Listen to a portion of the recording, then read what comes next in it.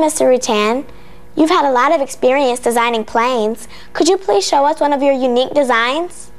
Oh, sure. I love to talk about airplanes. I've designed some 28 different manned airplanes and also some unmanned airplanes.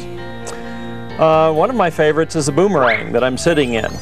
It is a very safe, uh, long-range, light twin airplane, and it's the airplane that I fly nowadays.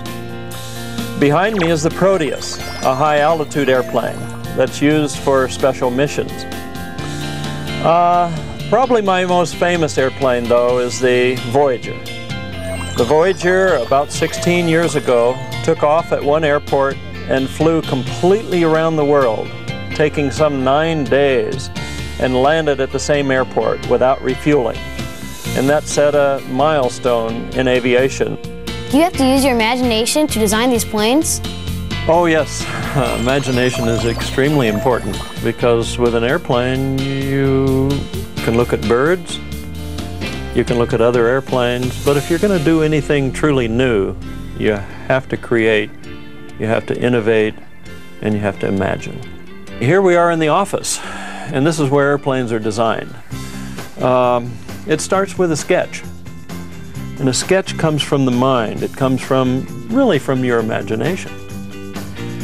You imagine what might fly well, and you think about it real hard, and you take a pencil to a piece of paper, and you put on a piece of paper the creative thoughts that are in your mind. And that's what imagination is really all about. Can you show us the Proteus? Okay, this is Proteus. Pretty big airplane. It's designed to do some very interesting things. It can fly very high. It can fly more than 10 miles high.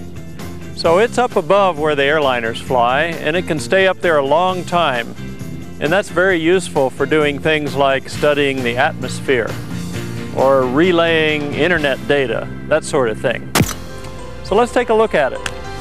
Even though this is a very big airplane with a wingspan of about 90 feet, it's actually quite light. It only weighs as much as two cars. But if you fill it up with fuel, it weighs as much as four cars.